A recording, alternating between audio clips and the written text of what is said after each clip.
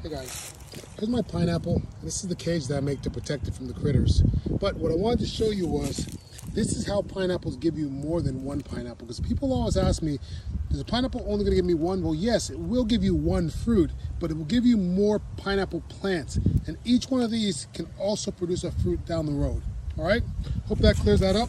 All right, see you guys, bye.